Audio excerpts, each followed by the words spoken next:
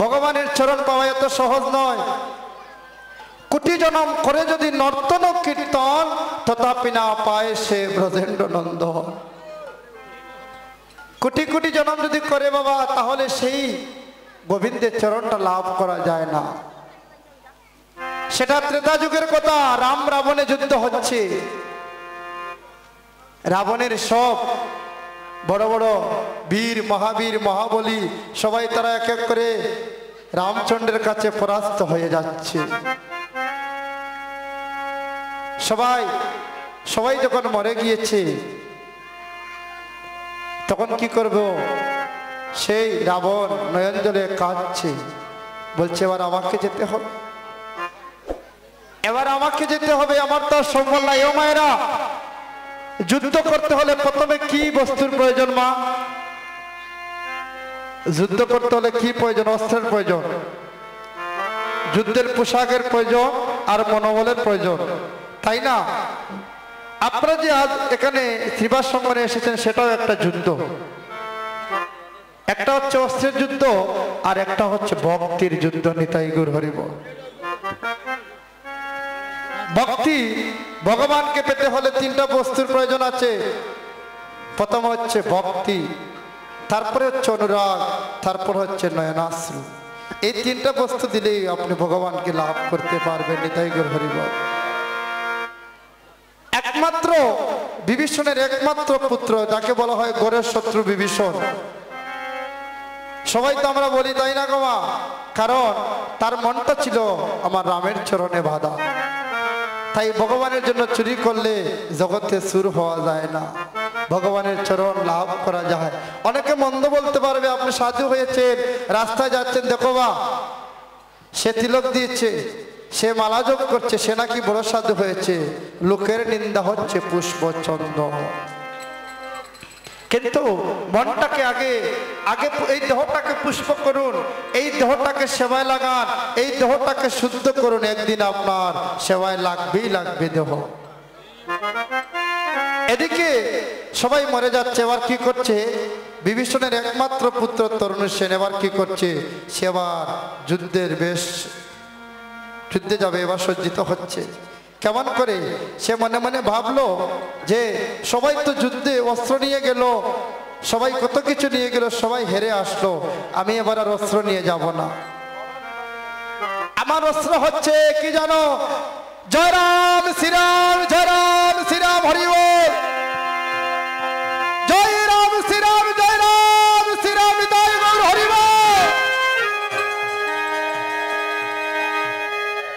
আমার অস্ত্র হচ্ছে আমার অস্ত্র হচ্ছে রাম নাম। সে দাদর সঙ্গে তিলক দিল। সুন্দর করে তার তিলক নামা কেটে সর্বঙ্গে জয়রাম, শ্রীরাম জয়রাম, শ্রীরাম সর্বঙ্গে লিখে দিল। লিখে দিয়ে এবার কি করল? এবার যুদ্ধের জন্য কি প্রয়োজন? অস্ত্রের প্রয়োজন? সে হরদনু হস্তে নিল নিয়ে গিয়ে এবার মাকে প্রণাম করছে। বলছে, মা গো, আসতে। দেখুন, এই জগতে মায়েরা, আজকালকার মায়েরা কত ধনী গো মা। সবাই বলে, আমার ছেলে ইঞ্জিনিয়ার, ডাক্তার হয়েছে। আর কোন কোন মা আছে, সন্তানকে যদি একবার বলে, বাবা, একটা গীতা পাঠ কর বলবে না না, গীতা পাঠ করিস না, তুই অমানুষ হয়ে যাবে। আসতে অমানুষ হয়ে যাবে কেন? সেই অমানুষ হবে, তার টাকা হবে না, বাড়ি হবে না, গাড়ি হবে না। সে কি করবে? মা বাবাকে ভালো করে খাওয়াতে পারবে না। আর শাস্ত্র বলছে শাস্ত্র বলছে কি জানে? শাস্ত্র বলছে সেই কথা যদি কোনো সনাতন ব্যক্তির মধ্যে যদি গীতা জ্ঞান না থাকে, যদি উপনিষদের জ্ঞান না থাকে, মহাভারতের জ্ঞান না থাকে, রামায়ণের জ্ঞান না থাকে, তাহলে সে কোনোদিন মানুষই হতে পারবে না। সে মানুষ কুলে জন্ম নেবে সত্য কথা। ও মায়েরা মানুষ কুলে জন্ম নেবে কিন্তু প্রকৃত মানুষ হতে পারবে না। আর সেও যদি মানুষ শিক্ষিত হয়, তাহলে চুর হবে, ডাকাত হবে, ঘুষখুর হবে, এই দেশে মঙ্গল বয়ে আনতে পারবে না। আর যদি সে যদি গীতা জ্ঞান থাকে, তার ধর্মের যদি জ্ঞান থাকে, ধর্মের অনুভূতি তার অন্তরে থাকে, একটি কথা বলে যায়, সে চুর হোক আর ডাকাত না হোক, সে কোনোদিন তার মা বাবাকে দূরে ঠেলে দিবে না। কৃষ্ণভক্ত সন্তানের মা বাবা কোনোদিন উপাস থাকে না। একটা কথা বলে যাই, সেটা রামকৃষ্ণ পরমহংসদেব বলেছিলেন। বলেছিলেন, যে সন্তান, যে মায়ের সন্তান কৃষ্ণ ভক্ত সেই মায়ের চরণে আমি প্রণাম জানাই নিতাই গুরু হরি বল। সেই মাকে কেন প্রণাম করি? মায়ের কুলটা হয়ে যাবে ধন্য, গর্বসিন্ধু হয়ে যাবে উজ্জ্বল। যে গর্বে কৃষ্ণ ভক্ত সন্তান আসতে পারে, সেই গর্ব মায়ের চরণে আমি কোটি কোটি প্রণিপাত জানাই নিতাই গুরু হরি বল। সেই সন্তান মা এত সহজে আসে না, অনেক ভক্তির প্রয়োজন, মুক্তির প্রয়োজন, অনেক তত্ত্ব আছে মা, আমি আর সেদিকে যাচ্ছি না, কিন্তু সে যখন মায়ের কাছে গেল, গিয়ে বলছে, মা গো, তুমি আমায় এবার সাজিয়ে দিয়েছ মা, এবার আমাকে বিদায় দাও।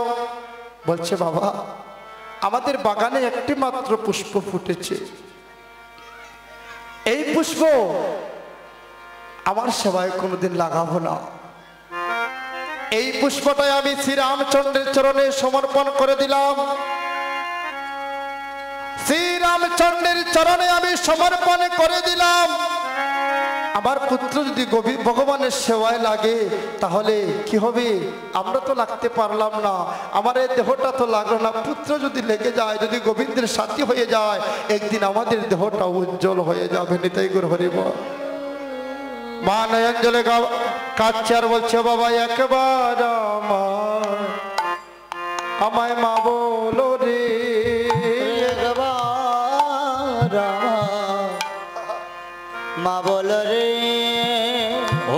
একবার আমায় আমায় বাবলো রে।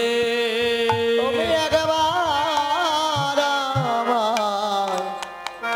মা বল রে। অরে অবাগিনী মায়ের মায়ের রক্তের বাদন অবাচ্ছায় একবার আমার আমায় মা বল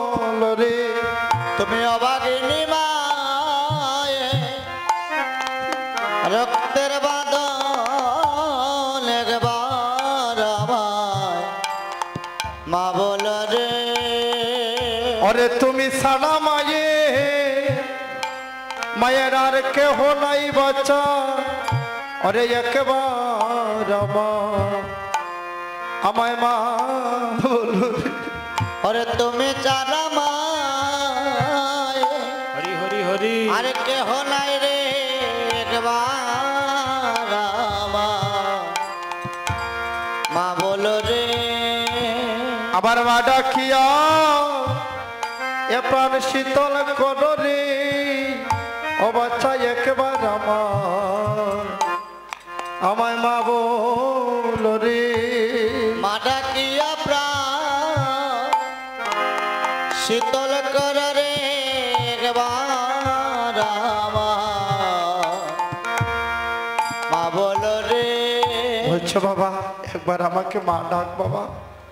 তরুণ সেন মা বলে ডাকছে। বলছে মা তুমি কেঁদো না। তোমার যে পুত্রকে মা আশীর্বাদ করে, সেই মায়ের পুত্র কোনো দিন যুদ্ধে পরাজিত হতে পারে না। যে মায়ের পুত্র আমা তুমি যে আমাকে এত ভালোবাসো আমাকে এত স্নেহ করো, যে মায়ের সন্তানের প্রতি আশীর্বাদ থাকে মাতা পিতার আশীর্বাদ থাকে, আমি শুনেছি মা, সে সন্তান নাকি জগতে মরলেও অমর হয়ে যায় তুমি আমাকে সাজিয়ে দাও, মা। তুমি সাজিয়ে দিয়েছি, এবার আমাকে বিদায় দাও। এবার মা নয়ঞ্জলে বক্ষবাসী পুত্রকে বিদায় দিল। ছোট্ট বালক, দ্বাদশ বৎসরের বালক, এবার ধীরে ধীরে রাবণের সন্মুখে গেল। রাবণের কাছে গেল, গিয়ে বলছে, যেটা তো যেটা তো। সে উচ্চারণ করে ভালো করে ডাকতে পারতো না, যেটা তো যেটা তো, বলে ডাকতো। বলছে, কে তুমি? বলছে "হ্যাঁ, জেঠু আমি এসেছি। কেন বাবা? তোমার এই সাধুর বেশ তোমাকে কে দিল? আমার এই রাজ্যে সাধুর বেশ পরিধান করা নিষেধ। আজ তুমি কেন এই দাদু সঙ্গে তিলক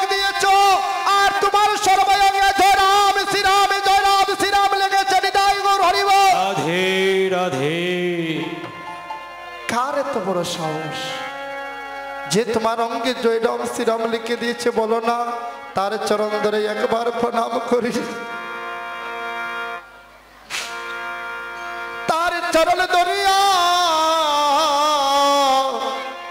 আমি তার চরণ ধরে একবার প্রণাম করি, কে লিখেছে তোমার অঙ্গে এত মধুমাকা নাম? আমি তো রামের চরণের একজন সেবক মাত্র।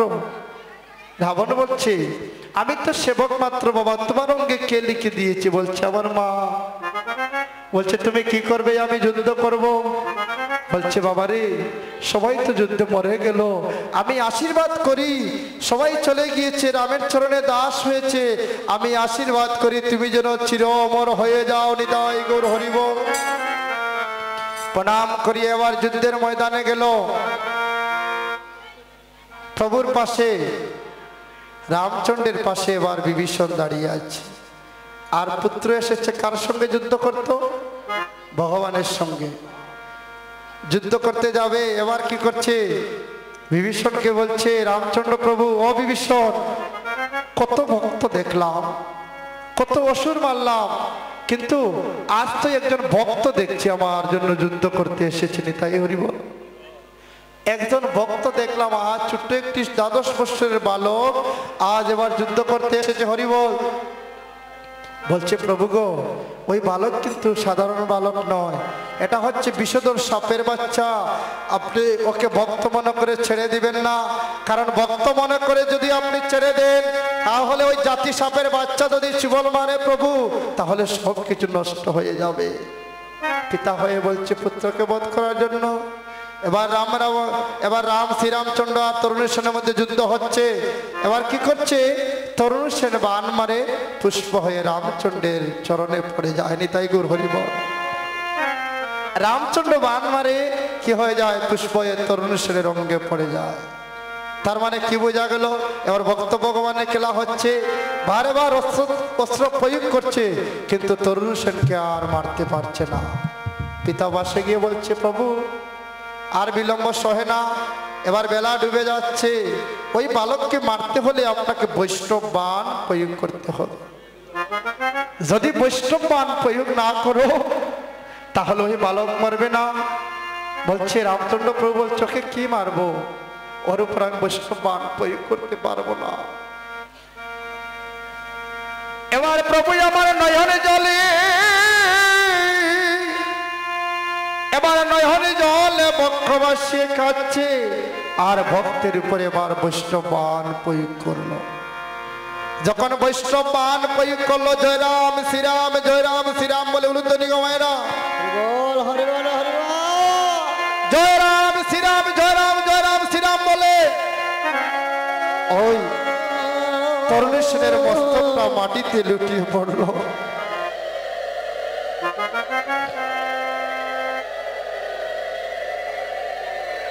তরুণেশ্বরের মস্তকটা মাটিতে লুটিয়ে পড়ল। যখন তরুণেশ্বরের মস্তকটা মাটিতে লুটিয়ে পড়ে, আর!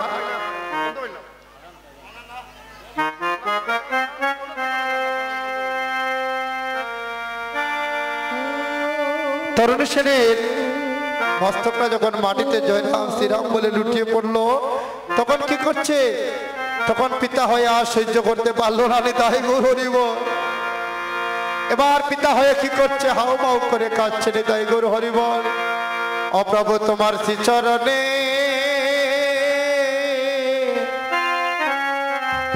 শ্রীচরণে দাস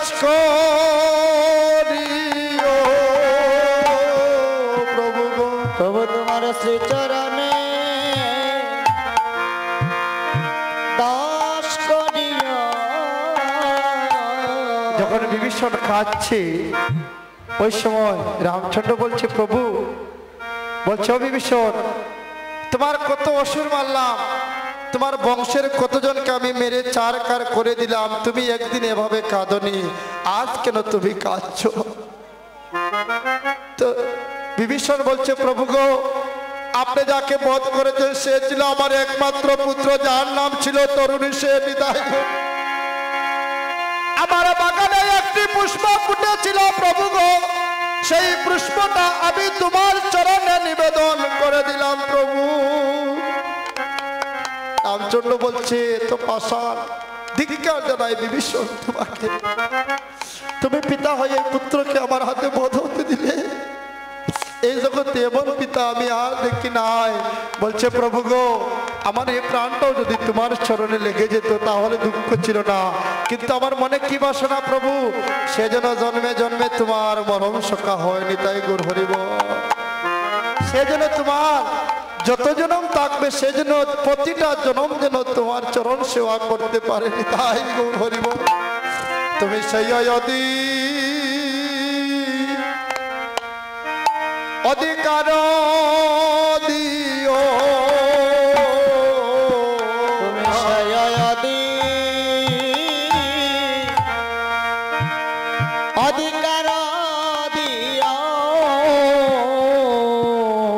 তুমি যদি সে যদি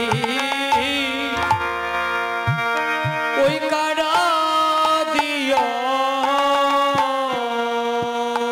তুমি সে কার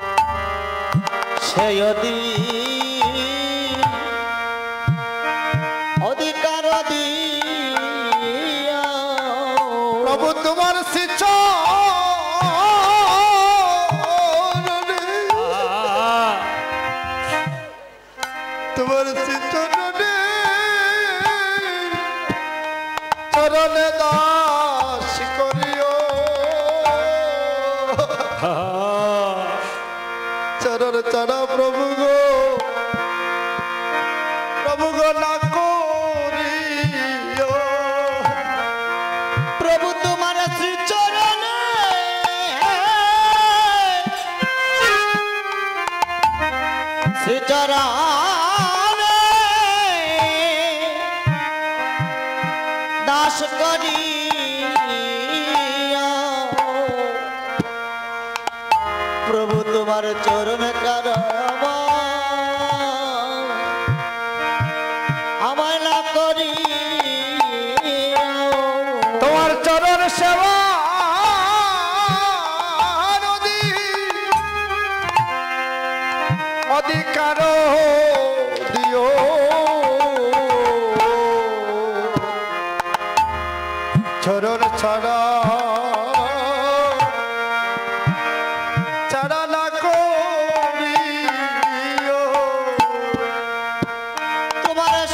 চরণে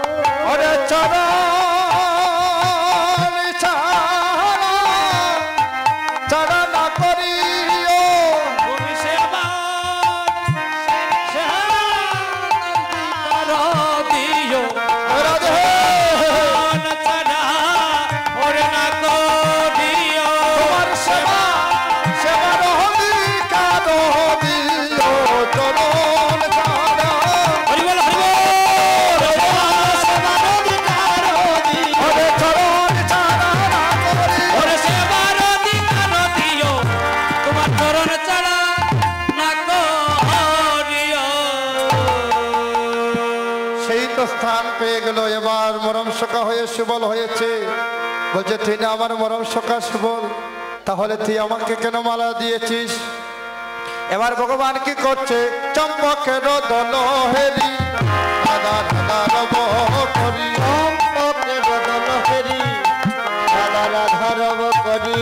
চম্পকের দল হেরি রাধা রাধা রব করি।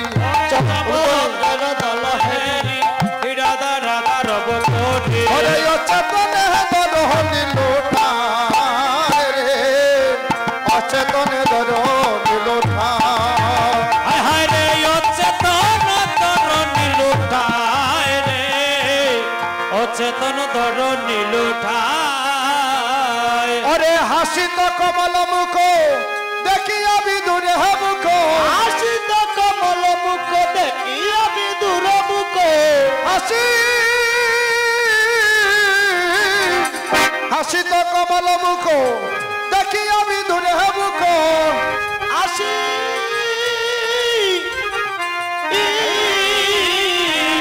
আসিত কমল মুখ দেখিয়া বিদুর মুখ।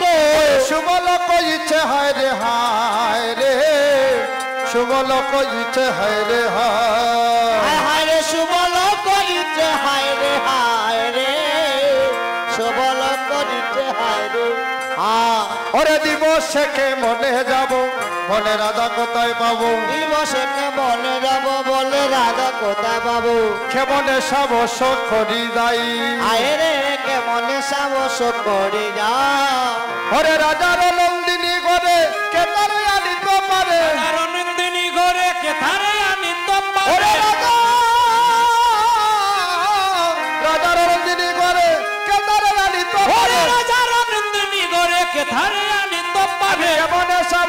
করি যাই রে কেমনে সাবস করি যাই। ওই আমি কেমনে সাহস করে যাই রে কেমনে সাহস করে যাই। ওরে কমা দেব নিজ মনে দিবসে আসিবে কেনে ওমা দেব নিজ মনে দিবসে আসিবে কেমনে? সাধ্য নহে রাধা আনিবারে। আয় রে সাত নয় রাধায় আনিবারে। অগদাহিয়া সুবলের মায়ে না ঘন ধরিতে যায়। নাইয়া সুবলের পায় না গলে ধরিতে যায়। ওরে সুবল বাচ্চারে আমারে রে। ওরে সুবল বাচ্চারে আমারে। আরে ওরে সুবল বাটারে আমারে রে। ওরে সুবল বাটারে আমারে। আমার রাহিবি রয়ে অঙ্গ সাদা রাইবি রহে অঙ্গ সাদা আমার বাচ্চারে সুবল বাচ্চারে বাচ্চা রাহিবি রহে ওরে অঙ্গ সাদা আমার বাটারে সুবল বাটারে বাটা রাইবি রহে অঙ্গ সাদা ওরে রাহিবি